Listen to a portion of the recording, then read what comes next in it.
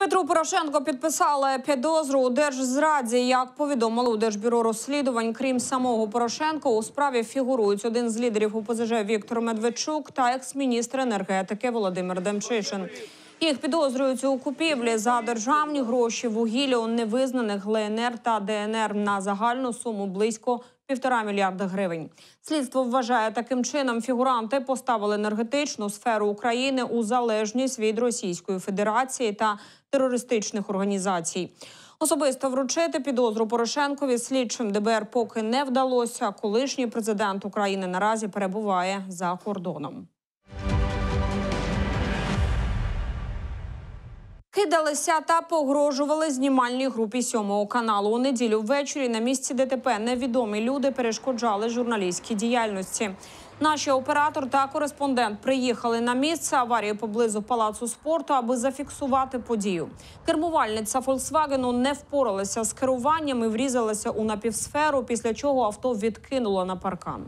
На місці події працювали патрульні поліцейські, які складали матеріали за фактом дорожньо-транспортної пригоди. Під час складання матеріалів е, у водія виникли питання, які перейшли в конфлікт до знімальної групи. Е, Журналістів сьомого каналу, Е, в результаті чого для того, щоб загасити цей конфлікт, е, патрульні поліцейські викликали на місце слідчо оперативну групу, яка вже в подальшому буде з'ясовувати всі обставини цієї події. Я хочу так себя, а я хочу так стоять. Я не знаю? Я говорю, пусть он снимет полусферу, которая стоит посреди дороги. Коли оператор знімав пошкоджений паркан, жінка почала агресивно поводитися, лаятися та штовхатися. Також невідомий чоловік погрожував та намагався побити знімальну групу. Сама ж водійка вирвала телефон з рук кореспондентки, аби видалити відео з конфліктом, після чого кинула мобільний на асфальт Смотрите, что происходит. Стой, сказал. Сотрудники полиции. Вася, я тебе сейчас ушатаю. Что ты мне кулачки слышишь? Что ты хочешь? Я тебя покалечу. Тут люди чуть не пострадали конкретно. Корочку свою покажи. Вы нападали Она на никакого аппарат. права не имела меня снимать. Она не имела права меня снимать. Убери. Тебя будем трогать, дурак. Знімальна група вже написала заяву у поліцію. Скільки ще платити за тарифом для Юросіб? У нас плавляться дроти. Робіть щось, панове. З такими плакатами мешканці ЖК Острови, що на Марсельській та багатоповерхівок на Сахарова 16 перекрили у понеділок зранку дорогу в районі Семена Палія. Пояснюють, через недбалість забудовників мають високі тарифи та й взагалі проблему з електропостачанням. У ЖК Острови труднощі з електрикою почалися ще понад два роки тому. Минулого літа в одному з будинків навіть сталася пожежа. Напруга постійно скаче, а техніка виходить з ладу, скаржаться жителі. Багатоповерхівки повністю електричні, проте довгий час електрику тягли від будмайданчика. І, хоча відповідну підстанцію звели, проблеми це не вирішило.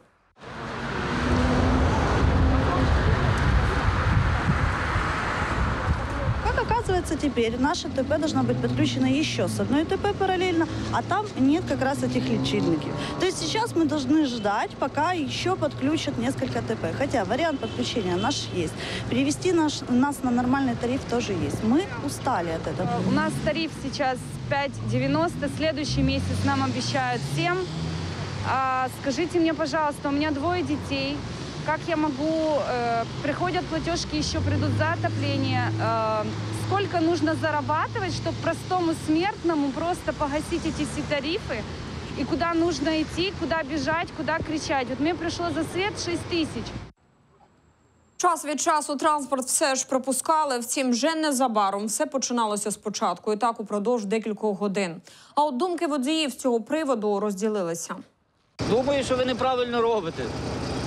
Тому що всіх время, і всім пропустіть, потім будете мітингувати. же проблемного дома, ЖК Ривьера Сити, Фонтанка. И э, тариф аналогично 5,60 за октябрь. Планируется расти. Поэтому по-другому, как привлечь внимание, я не знаю. Самі ж учасники мітингу запевняють, неодноразово зверталися по допомогу до мера та інших чиновників, але безрезультатно додають, якщо влада їх не почує, новорічні свята проведуть під будівлею міської ради. Нестерпний сморід та колюжі з нечистот дворі. Мешканці Мечникова 122 скаржаться на несправну каналізацію. Запевняють, нерідко відходи затоплюють чи не весь двір та потрапляють навіть у їхні будинки. Кажуть, почалося все понад два роки тому, коли робітники у межах ремонту замінили труби. У тут трое детей, и получается я борюсь как могу, видите? Закрыла дырку, но он там уже вообще никак, просто никак. Люки не привезли, не поставили. Крышки на люки не поставили. Дозвониться им невозможно. Плевать они хотели вообще на всякие просьбы или еще на что-то. Ни акта завершенных работ, никуда были потрачены этих 100 тысяч, которые выделяло государство. Потом они, по-моему, еще добавили. А мы нюхаем вот эту вот. И в оконцовке вот, вот все, что есть. Ну хорошо, сейчас зима, а летом это же невозможно. Во дворе маленькие дети, грудничковые дети. И вот это, это же антисанитария, натурально. Люди скаржаться кожних 2-3 місяці змушені витрачатися на очищення каналізації. Та це далеко не єдина проблема у дворі. Раскопали здесь. Здесь э, под низом, чтобы вы понимали, яма, я не знаю, идет под дома. Просто, я не знаю, там засыпали КАМАЗ песка, и все равно. И сейчас, когда дождь идет, вода не уходит за ворота. Вода уходит вся под дом. Здесь уже все просело. Оно вот-вот и гупнется вместе с домами, и не, не дай бог еще. еще. Был я и в ЖЭКе, писал заявление. Да, да, да, не, ну я был, какую-то там контора, которая занимается этими. Да, да, мы приедем, посмотрим, это было два года назад. Так и никому ничего не надо. Додам, проблеми з каналізацією у нашому місті трапляються нерідко. На початку грудня ми розповідали історію 80-річної мешканки Маяковського 9. На той момент жінка вже рік боролася з нечистотами та постійним підтопленням квартири через несправну каналізацію. Втім, аварійні служби відмовлялися допомогти. На щастя, після нашого сюжету проблема зрушилася з мертвої точки. Втім, роботу ще не завершили. 100 мільйонів гривень вже встигли витратити українці в рамках програми є підтримка. Нагадаю, завдяки цій програмі фінансування кожен вакцинований громадянин нашої країни має отримати тисячу гривень.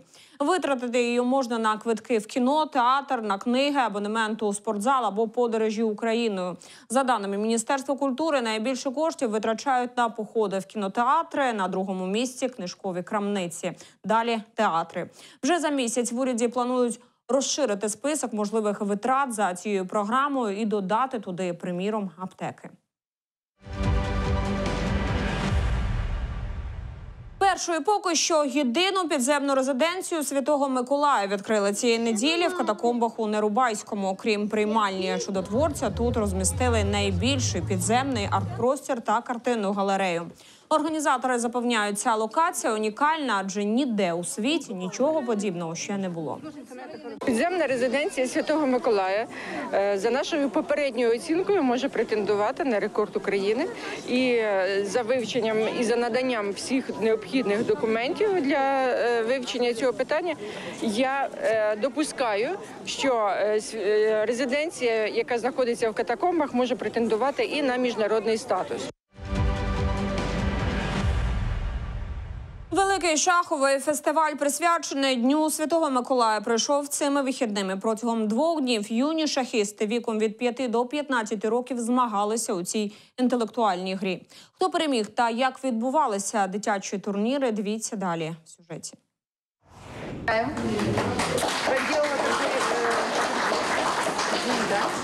И получай красивую-красивую корону.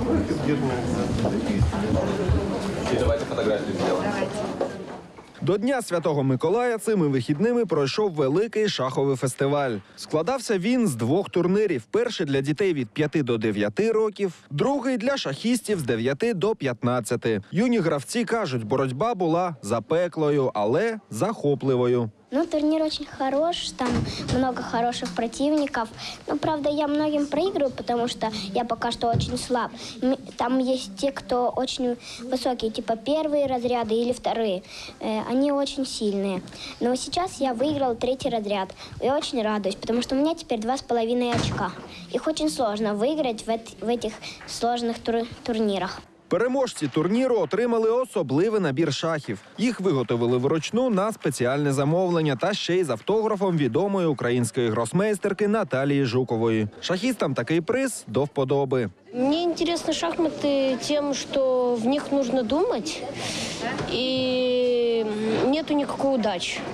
То есть у всех шансы равны. Я выиграл 8 партий, проиграл одну. Турнир был довольно напряженный, все были очень сильные. Главные эмоции. Мне понравилось здесь участвовать. Соперники сильные попались.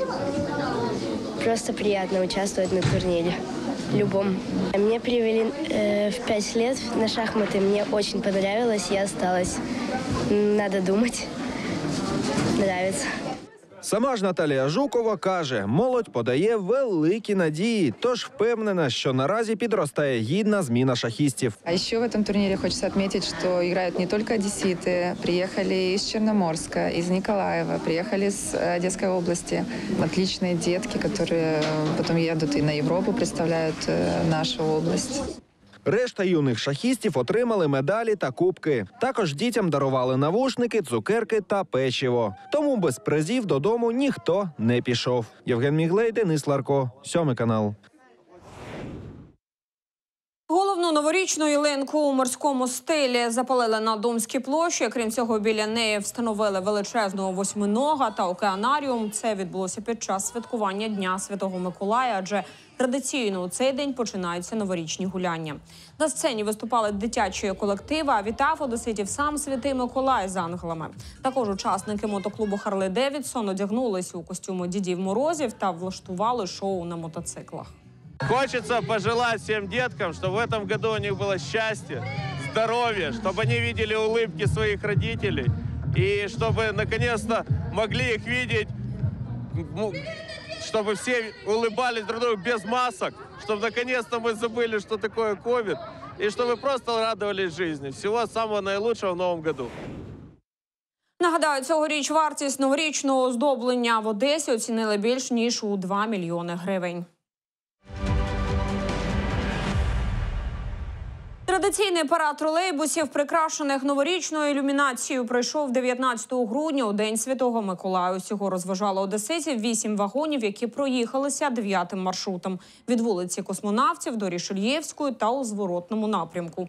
Поїздка для усіх охочих була безкоштовною та зайняла майже півтори години. Водії вдяглися у костюми дідів морозів, а кондуктори були в образі снігурок. Одеситам парад прийшовся до вподоби.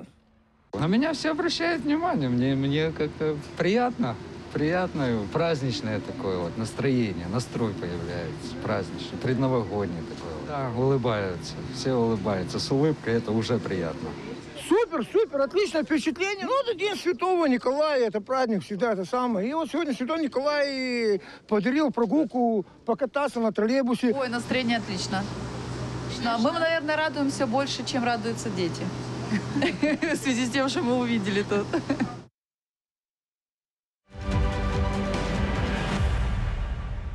Своє 11-річчя цієї неділі відзначив клуб Моржі Одеси, аби підняти собі настрій. Його учасники святкували у костюмах тварин, персонажів мультфільмів та міфологічних сюжетів. Разом купалися в морі, веселилися, їли торти та пили чай. Як радіють життю одеські моржі та чому полюбляють зимове купання? Дивіться далі. Вот я раньше что такой злой был? Потому что моржом не был.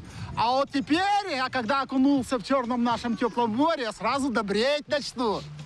Це Дмитро, учасник одеського клубу моржів. Спілка, до речі, в неділю відзначила свій 11-й день народження на пляжі Ланжерон. Чоловік каже, зимове купання дуже добре впливає на його здоров'я. Ну, действительно, это большая польза. Не пью, не курю. Всем советую, ребята, не надо таблеток, не надо медикаментов, не надо аптек, не надо выручать фармацевтику. Ходите и берите дармовое здоровье в нашем море на Ланжероне. Щоб підняти настрій, люди вдяглися у костюми тварин, персонажів мультфільмів та міфологічних сюжетів. Разом із Дмитром до святкування дня народження клубу приєдналися більше 30 моржів. Після розминки ентузіасти рішуче занурилися у прохолодне грудневе море. Классно, просто, просто так чудесно.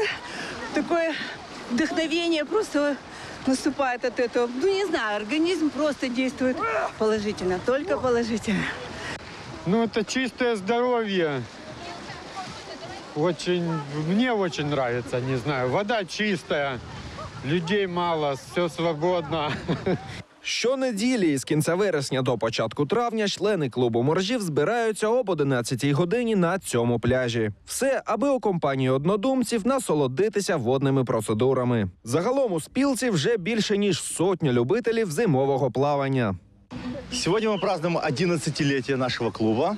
Э, Вот таким, как обычно, всегда веселым, э, костюмированным каким-то, чтобы сделать настроение себе. Вот так вот празднуем, веселимся, как видите, радуемся.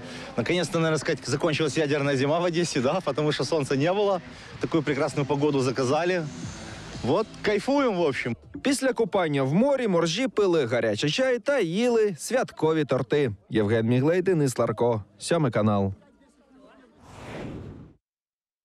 Серйозного похолодання очікується в Україні вже цього тижня. Синоптики прогнозують майже до мінус 20 градусів. На дорогу більшості областей, а також у Києві може виникати ожеледиця. Тож ймовірні порушення руху транспорту на окремих ділянках. Температура повітря 21-23 грудня у нічні години може опускатися до мінус 12, мінус 18 градусів і від 5 до 10 морозу в день.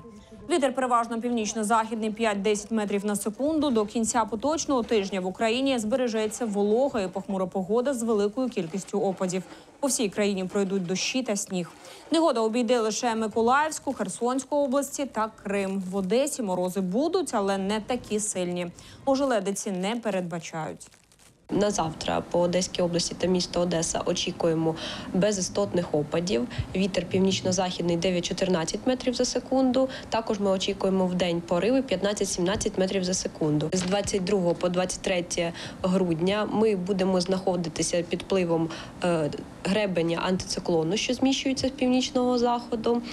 Е, Також буде без істотних опадів у ці дні. Вітер північно-західний 9-14 метрів за секунду. Ну але вже він не буде сягати небезпечних позначок. Е, Температура в нічний час е, у ці дні 22 та 23 грудня буде складати 5-10 градусів морозу, а у денні години температура буде складати 0,5 градусів морозу. Морози в Одесі на цьому закінчаться. 24 грудня в день потепліше, вночі можливий сніг. А вже цієї суботи на нас очікує до 9 градусів тепла без опадів.